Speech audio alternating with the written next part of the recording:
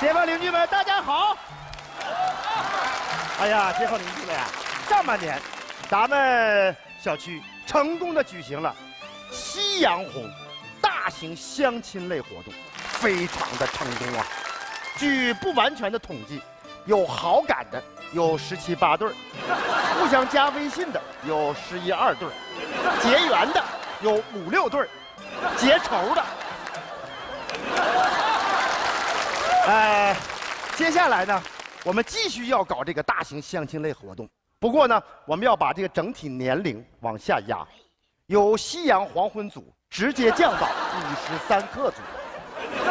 啊、接下来呢，要上场的两位业主是我们本次活动重点推出的拳头产品。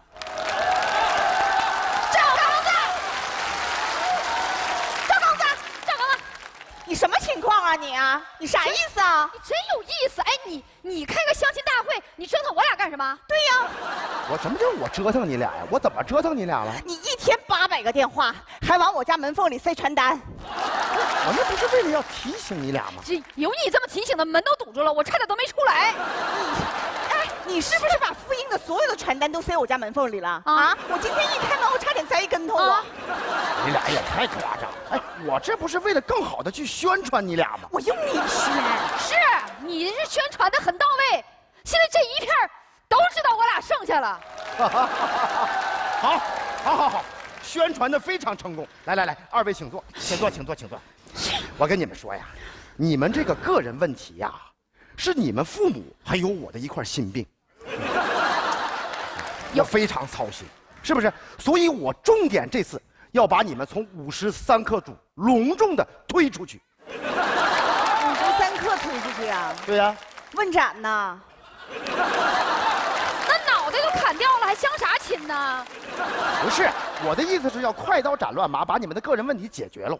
我跟你们说啊，你们要珍惜这次机会，听见没？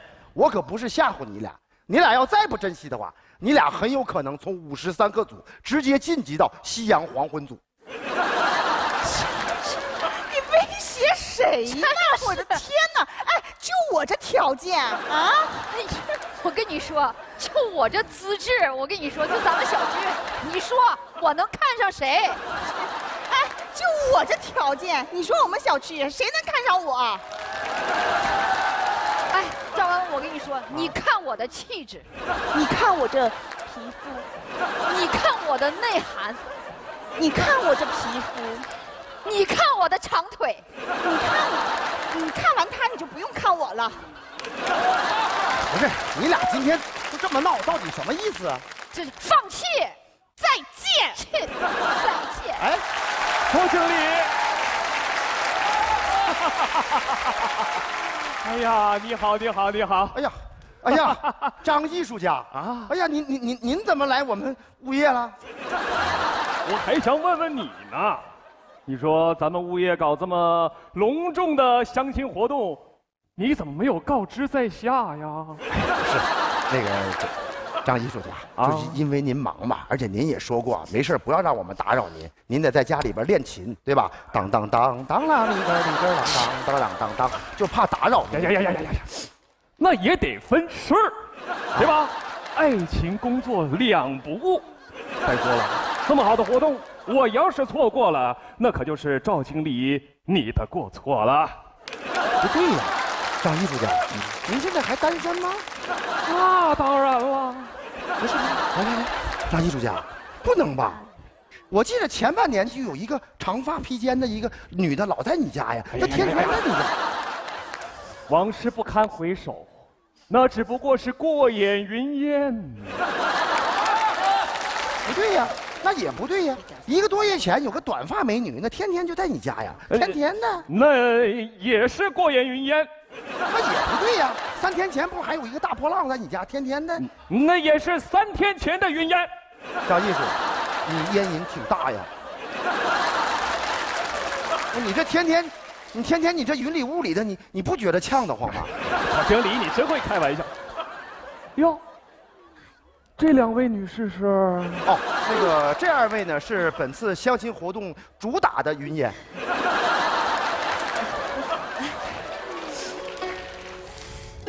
啊，我如果爱你，绝不像攀援的凌霄花，借你的高枝炫耀自己。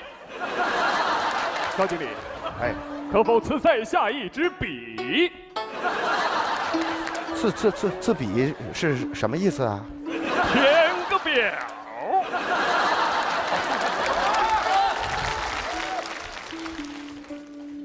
哎呦我的妈呀，这业务挺熟练呢，看来没少填过表。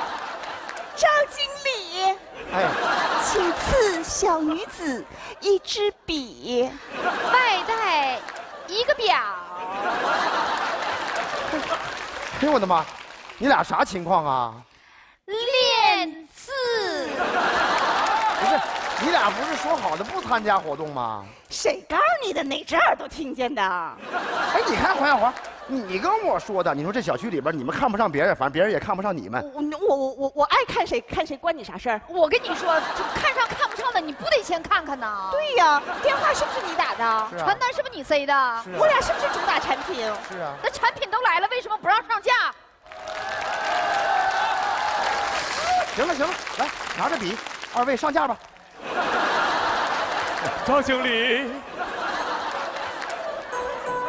我的表填完了。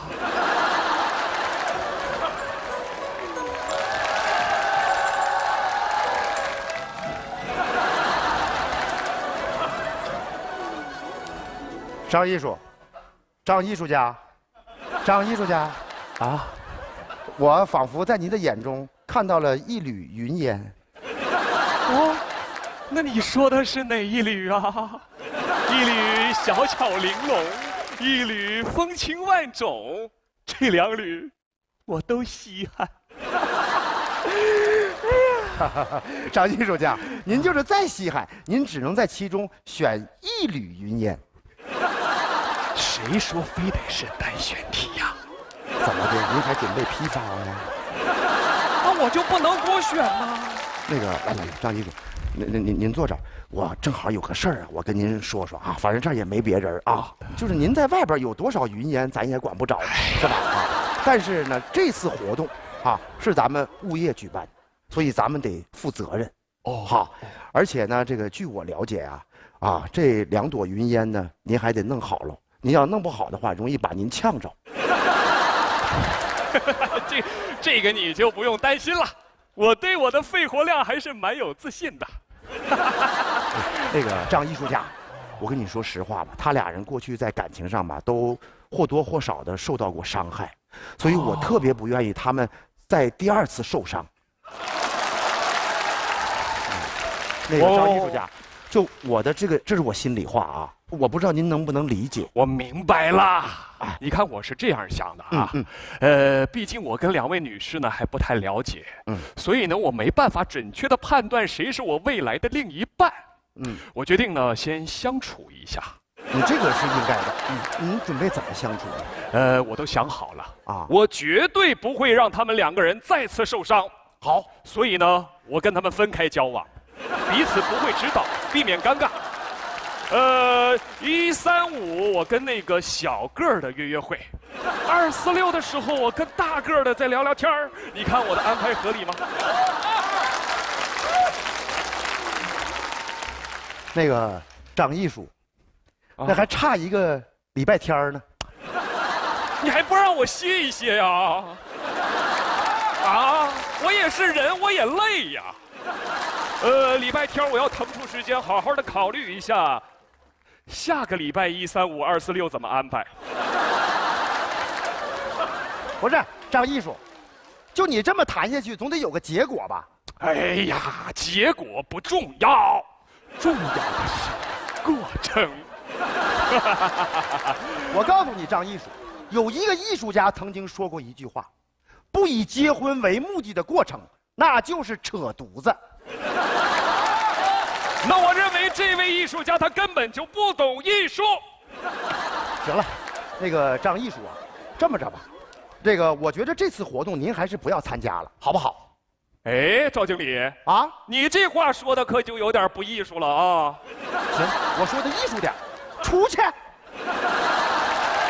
你什么意思啊？什么意思？就是这次不带你玩儿，明白不？你凭什么不带我玩儿？凭什么？就是不让你参加，明白不？那我这表我都填完了。表填完了没用，我跟你说，我们是主办方，我们有这个权利，不让你参加。出去怎么的？怎么的？怎么的？主办方你就嚣张啊！主办方，主办方，你什么素质？你的主办方，你怎么跟艺术家说话呢？哎呀呀呀！就是两两位女士，两位女士别激动啊，原谅他，原谅他。哎不是哎哎哎哎哎。呃，我可能跟这个赵经理之间存在一点小小的误会啊。不是什么叫哎呀呀呀呀！谁让我是一个纯粹的爱情主义者呢？赵刚子，你过来，你过来，你看看人家艺术家的境界，你再看看你的境界，就你现在这个境界，跟艺术家一比，你简直就是癞癞蛤蟆上马路，还愣装进口小吉普，你知道吗？你就在马路上好好趴着呗，你上人脚面干啥呀？你压人脚了，你知道吗？膈应人。就是，你俩知道啥呀？你听他往后说，他后边还说了呢。我说就说嘛，很正常啊。我的意思是我跟两位女士都不了解，我要相处一下才知道啊。说的特别好。没毛病啊！处处什么处啊？你往下，你你处怎么处？那接下来就很正常，应该约个会呀。特别对，约什么约呀？怎么约？怎么约？往下说。赵刚子，你问那么细干啥呀？你要跟他去呀？你给买电影票、买爆米花咋的？赵刚子，你是想去吗？你想转钱是不是？你不用问那么多。不是你俩吵吵啥？别吵吵。行了，我也不顾及你了，我就直处了。他说约会是这么个约法，是吧？一三五跟你这小个约，听见没？二四六跟你这大个约。那星期天呢？星期天他休息，他累，他得休息，他得考虑一下他小高子哎你怎么说话呢？啊，你嘚嘚咕咕说啥呢？说话能不能有点分寸呢？啊，你这么说话，在两位女士面前，我很没自尊，我很尴尬呀。你还有更尴尬的，听见没？他说了，跟你们谈，他没结果，听明白没有？咱俩听好喽，没结果，明白吧？就是浮云飘就没没事儿。个姓赵的啊！你怼我是不是啊？怎么的？你信不信我给你怼回去啊？怎么怼？你怎么跟艺术家说话呢？你你怎么跟赵经理说话呢？你太不像话了，还什么该说什么不该说，还尴尬，你还知道尴尬呀？啊，还艺术家，别给这仨字丢脸了。哼，你你敢霍霍我刚子哥？平常我俩霍霍他就算了，你算老几呀、你想越过我俩霍霍他，我咬你！出去！舒服。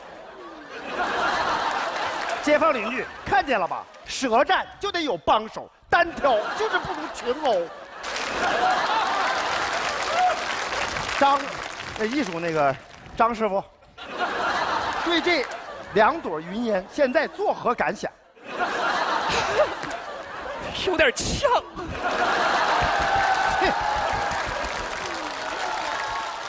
刚子哥，干啥？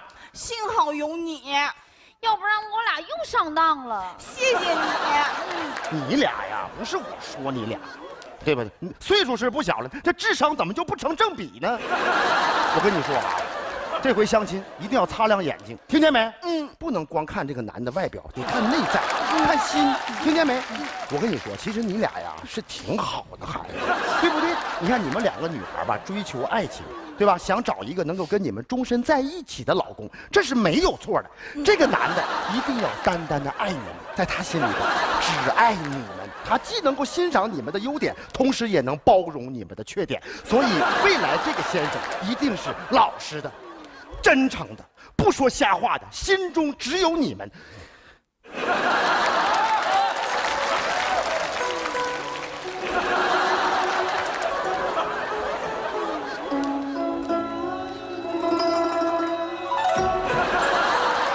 那个，我，我我我已经有了，我我我已经过了五十三克那组了，刚子哥，哎，你有弟弟吗？你有哥哥吗？远房亲戚也行。只要姓赵就行。那个哎，走，去哪儿啊？回趟你们老家，干啥呀？划拉人儿去。不是，哎，我说，不是，我说，哎呀，哎呀呀呀，小黄啊，我大北呀，街坊邻居们，记住了啊，路窄不一定是冤家，就怕碰见俩奇葩。我走啊！